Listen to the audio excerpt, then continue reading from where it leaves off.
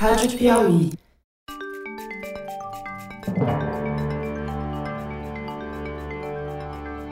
Opa, opa! Eu sou José Roberto de Toledo e este é o Luz no Fim da Quarentena, uma coprodução da revista Piauí com a Rádio Novelo. Infectamos o canal do Foro de Teresina para trazer pesquisas científicas sobre a pandemia. No episódio de hoje, nosso cientista residente, o biólogo Fernando Rainar, fala sobre os três caminhos possíveis para sairmos da quarentena: a vacina, que pode evitar o contágio, o remédio, que pode curar a doença, e a tal da imunidade do rebanho. Mas, pelo que a ciência conseguiu demonstrar até agora, só um desses caminhos pode levar a uma saída em prazo curto, ou pelo menos mais curto do que um ano e meio. Mesmo assim, há dúvidas. Fernando Rainar, a gente estava conversando antes de começar a gravar e você explicou alguma coisa que é básica para a gente poder evoluir nessa conversa, que é só existe três maneiras de sair dessa quarentena e de superar a epidemia. Quais são elas? Bom, a primeira é achar um remédio que seja tiro certo. Existe? Não existe. Mas nesse remédio você poderia fazer o seguinte: as pessoas ficam doentes, mas se curam sem maiores problemas e tudo bem. Ninguém vai morrer se o remédio for realmente bom. O problema é que a cloroquina ainda está em teste e há outras opções em teste, mas nenhuma conclusiva. Exatamente. Então nós não temos remédio. A segunda opção, que é a melhor de todas, é ter uma vacina. Porque aí a gente fica aqui em quarentena, a vacina fica pronta, todo mundo é vacinado, e sai da quarentena sem medo de ser infectado. Vai ter a vacina? Eu acho que vai ter a vacina. É uma questão de tempo. E é muito imprevisível. O pessoal fala um ano, um ano e meio, mas provavelmente vão conseguir uma vacina. Se fosse depender só da vacina, a gente ia ter que ficar em quarentena mais um ano, pelo menos. É, até alguém descobrir a vacina. Mesma coisa no remédio, até alguém descobrir o remédio. São opções, mas demoram. E a gente não sabe qual é esse tempo. Pode ser uma semana, um mês ou um ano. Está totalmente fora de controle da população e dos governantes. Bom, a terceira saída é você desenvolver o que eles chamam de imunidade do rebanho. Aumentar o número de pessoas que foram infectadas e se tornaram imunes ao vírus. Hoje nós temos uma fração de pessoas que já foram infectadas, sararam e fazem parte do grupo de pessoas imunes. Né? Durante o pico da pandemia, a gente vai ter um número muito grande de pessoas que vão ser infectadas, vão sofrer a doença e vão se curar. Essas pessoas já vão fazer parte do grupo que está imune. Só deixa eu bancar o advogado do diabo.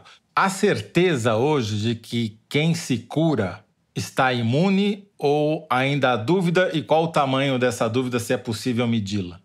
Não, o que a gente sabe hoje é que as pessoas que estão se curando nos hospitais, etc., elas só se curam porque o sistema imune delas reage à presença do vírus e liquida a infecção.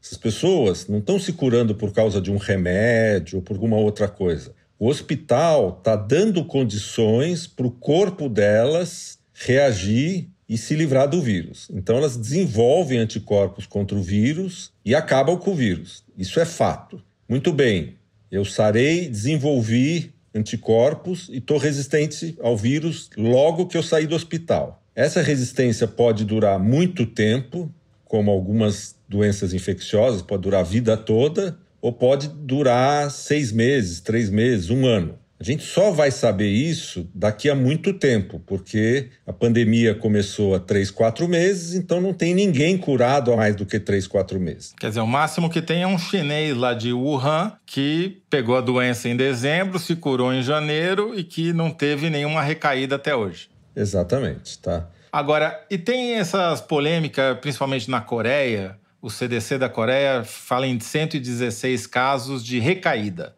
Isso daí é recaída mesmo ou é um problema dos testes? Ninguém sabe com certeza, né? Uma probabilidade é que essas pessoas foram testadas positivas, depois foram testadas deu negativo e depois voltaram a ser testadas positivas, no sentido de que, por exemplo, os testes negativos eram ruins ou deram resultado errado. Então, eles tiveram uma infecção mais longa e a gente pensa que elas se tornaram negativas por um problema de teste. Outra possibilidade é que eles estejam certos, que realmente existe uma fração minúscula na população que é reinfectada ou porque tem problema imune. Sempre tem uma fração minúscula que não segue a regra. Aí, quando a pessoa fica imune, então ela pode ficar por longo tempo ou baixo tempo, essa imune pode ser total ou parcial. Total quer dizer o seguinte: eu nunca mais vou pegar coronavírus. Parcial é o seguinte: olha, eu estou bem imune, mas ainda pego o coronavírus. Mas se eu pegar de novo, ela é fraquinha. De qualquer modo que for essa imunidade, ela resolve o problema de quem foi infectado, né? É, essa imunidade parcial pode ser um cenário assim, quer dizer, a pessoa pegou o coronavírus faz um mês, passou para um cônjuge, por exemplo, ela se curou, aí o cônjuge ficou doente, passou para ela de novo, reinfectou e ela teve uma versão branda dessa doença um mês depois. Isso é possível, por exemplo, se a imunidade for parcial? É, a imunidade parcial, em geral, os anticorpos vão caindo ao longo do tempo. Então, logo depois, é difícil a pessoa reinfectar. Mas, sei lá, seis meses, alguns meses depois, pode ser, entendeu? Mas aí ela vai ter uma doençazinha leve. Antes de entrar nas consequências da imunidade do rebanho, você pode explicar quais são os tipos de teste? A gente já falou sobre isso em outro programa, mas acho que de lá para cá apareceram testes novos mais precisos. Você pode explicar qual é a diferença entre esse teste que você pega só uma gota de sangue e um teste que você pega o sangue venoso mesmo em maior quantidade? Qual é a diferença de precisão deles? É, você tem dois, duas classes de testes. Uma que detecta o vírus, então ela dá positivo durante a infecção. Quando você sara da infecção, ele dá negativo, porque você se livrou do vírus. E tem um segundo teste que detecta anticorpos contra o vírus no teu sangue. Esse teste dá negativo logo no começo da infecção e aos poucos vai dando positivo, mais positivo, mais positivo. E ele fica muito alto, muito positivo duas semanas depois que você foi infectado, apareceram os primeiros sintomas. Esse segundo teste é o que determina se você foi infectado no passado. Agora, nesse segundo teste, que determina se você foi infectado no passado, tem dois tipos. Tem um que você fura e pega só uma gotinha de sangue, e ele dá positivo e negativo. Esses são os tais testes rápidos que foram importados. Eles são muito mais fáceis de usar, né? Porque fura a ponta do dedo e dá positivo ou negativo. E a gente sabe qual é a taxa de precisão desses testes? Depende muito de cada fornecedor. O pessoal está testando aqui no Brasil qual é a taxa de precisão, mas tem muitas marcas que foram importadas, está meio confuso ainda o cenário aqui. E também existe os testes que medem anticorpos depois, que são muito precisos, que medem a quantidade mesmo de anticorpos, você pode medir como eles vão crescendo depois da infecção, etc. Esse teste é aquele, você tem que fazer uma punção venosa clássica, como a gente faz quando coleta sangue, e manda para o laboratório. Então você só vai ter resposta alguns dias depois. Mas ele é um teste muito preciso. Como a gente já explicou no terceiro programa, se eu não me engano, a ideia desses testes, desses experimentos, é você ir tendo uma amostra da população para saber quantos por cento já estão imunizados ou não, considerando-se todas as dúvidas que existem sobre se a imunização é total ou parcial, e, enfim. Agora, isso também implica que vai ter primeiro duas classes de pessoas, né? As imunizadas e as não imunizadas, é isso? Quer dizer, a grande dúvida que tem hoje é qual a fração das pessoas que tem a doença e desenvolve anticorpo e não apresenta sintomas. E isso pode ser uma fração significativa. A gente sabe hoje o número de pessoas que chegaram no hospital e foram testadas, mas todas as pessoas que não tiveram sintomas ou ficaram em casa e trataram como se fosse uma gripe não estão aparecendo nas estatísticas. Porque vamos supor que você tem uma surpresa agradável e no fim do pico, 60% da população de São Paulo já tivesse sido imunizada. Nem sabe que ficou doente. Nem sabe que ficou doente. Isso é uma ótima notícia porque nós estamos perto de poder abrir de novo tudo. Agora vamos supor que você faça essa medida e descubra que só, sei lá, 5% ou 10% já ficaram infectadas. Daí você tem um longo caminho para criar uma imunidade de rebanho significativa, de 70%, 80%, 90%, um número desse tipo, para poder abrir. Qualquer abertura parcial que você fizer depois do pico, não, vamos abrir só o comércio, vamos deixar as crianças. Isso implica num aumento de infecções, de qualquer jeito, e vai criando aos poucos a imunidade de rebanho. Né? Mas vai dando mais casos graves e você precisa fazer isso sem superlotar o sistema de saúde para você não ter morte por outras causas provocada pela epidemia. Exatamente. Essa é a grande desvantagem da opção da imunidade de rebanho. Ela custa mais vidas, implica que quase todo mundo vai ter que ser infectado mais cedo ou mais tarde. Mas ela é a única que a gente tem algum controle no tempo. A gente pode espalhar mais, a gente pode espalhar menos. As duas outras opções, você tem que ficar fechado, esperando ver o que vai acontecer. Vai aparecer a vacina? Vai aparecer o remédio? Na China, as pessoas que ou adquiriram imunidade ou tinham certeza que não estavam contaminadas, tem um aplicativo de celular, o WeChat, que dá uma luz verde para elas e quando abre elas podem sair de casa. Quando fecha, aí fecha para todo mundo,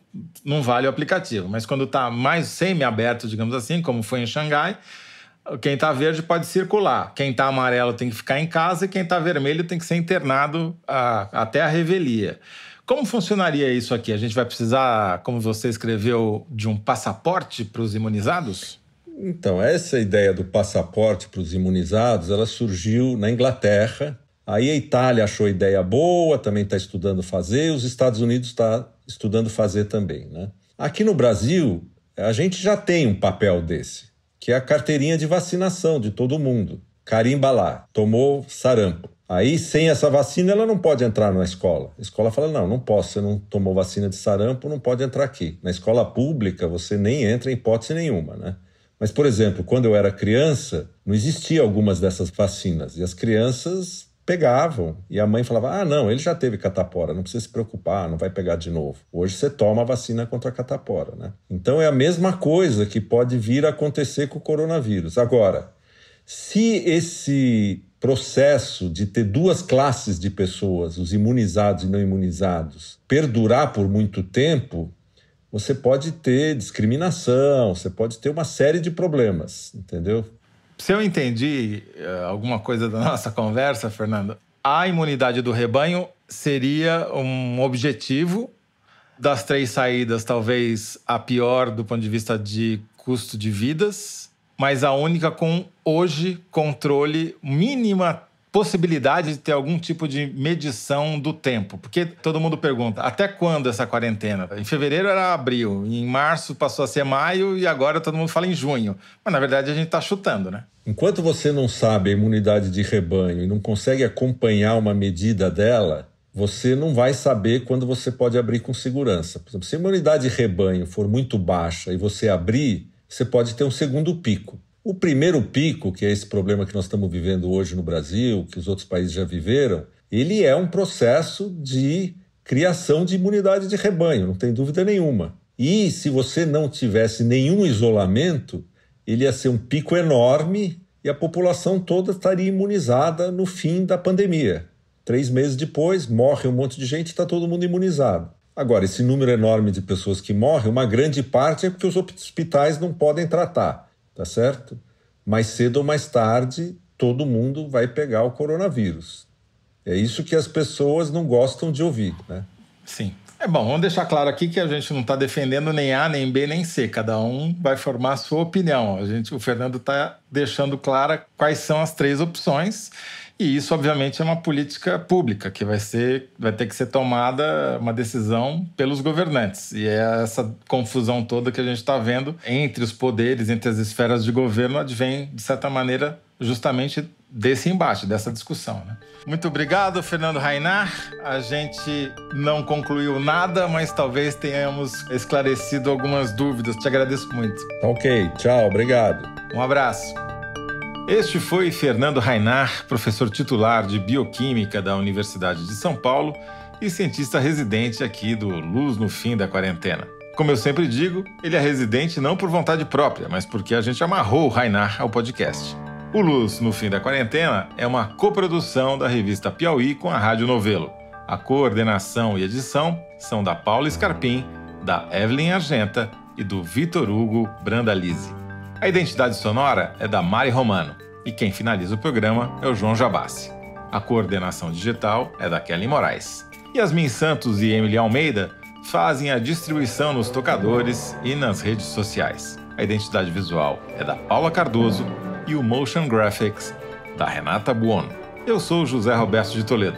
Até o próximo episódio. Tchau!